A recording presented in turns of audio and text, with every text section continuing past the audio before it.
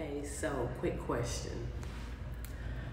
Why do men be attractive to women and they dress nice, they expose a little bit, always wearing heels, always looking good, all that good stuff.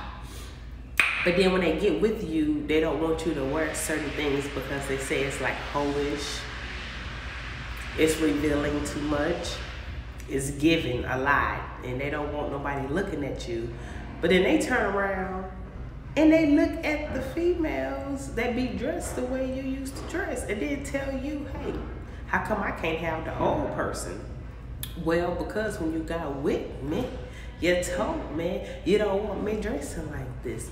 You don't want me dressing like that. You don't want this. You don't like that. You don't like this. This is what you prefer. This is what you want. This is, and then when you get it, then it's how come I can't have that old person?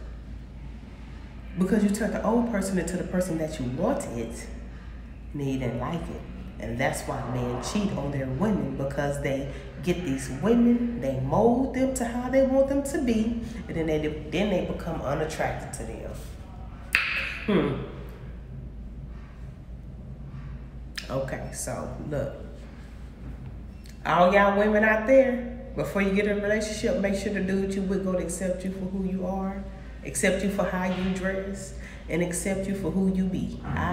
Otherwise, you're gonna change for that man. He gonna turn around and change on you and find somebody else that was like you in the beginning.